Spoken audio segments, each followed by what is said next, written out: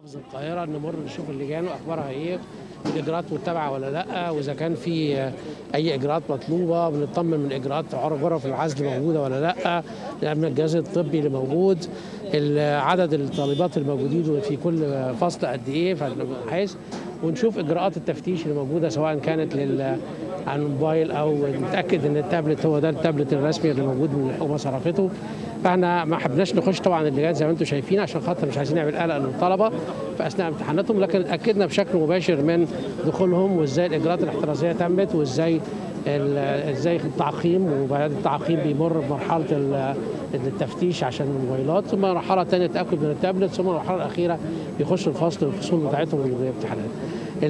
لغاية دلوقتي إحنا الحمد لله على مستوى الجمهورية الأمور كلها ماشية كويس إحنا يمكن من أربع خمس أيام من بداية الأسبوع الماضي كده وإحنا السادة المحافظين كلهم بيمروا في اللجان في كافة اللجان قبل الامتحانات نتاكد من أعداد الطلبة المفروض عدد الطلبة اللي موجوده في كل الفصول يتاكد من الإجراءات اللي هتتعمل بيمر معاه مديرية التربية مديرية التربية والتعليم والصحة الإجراءات وزارة الصحة اللي بتنزل بتتنفذ حرفيا بالنسبة للطلبة كلها عشان دي اجراءات مهمة فيها.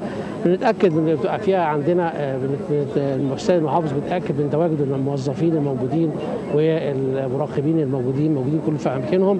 أي مشكلة بنحاول إن إحنا نحلها.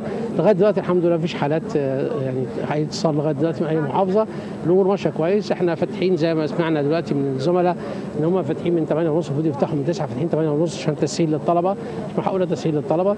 وإن شاء الله بإذن الله تعدي بخير إن شاء الله. واولادنا يقدموا الامتحان بهدوء آه طبعا إحنا اماكن الأهالي في في مدارس هنا عشان بس في يعني شجر وبتاع.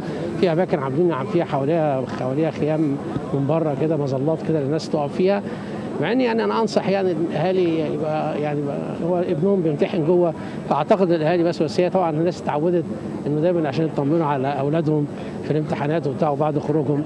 لكن إحنا بنطمنهم إن إحنا إن شاء الله جوه الناس كلها واخدة بالهم منهم وبيوفروا لهم كل سبل الراحة بإذن الله تعالى عشان إن شاء الله يطلعوا بعيد على خير بإذن الله تعالى.